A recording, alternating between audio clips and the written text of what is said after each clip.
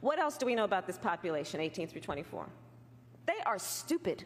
That is why we put them in dormitories and they have a resident assistant.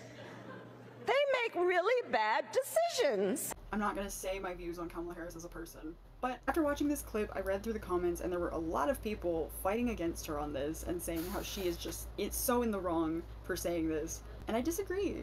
And don't get me wrong, it is absolutely bonkers for her as a presidential candidate to say that this group of people are stupid. Everyone's saying that like they think it's okay that this age range gets to vote. Yo, this age range can't even rent a car. You trust that they have the knowledge to vote for policies that would benefit this country the most? And yet, some of those people actually believe that it's okay for you to choose your gender under the age of 10 years old. How dare you say that 18 to 24 year olds are stupid and can't vote? How dare you tell my six year old son that he can't be a female and get necessary surgery to match what he feels inside? Or, sorry, what she feels inside?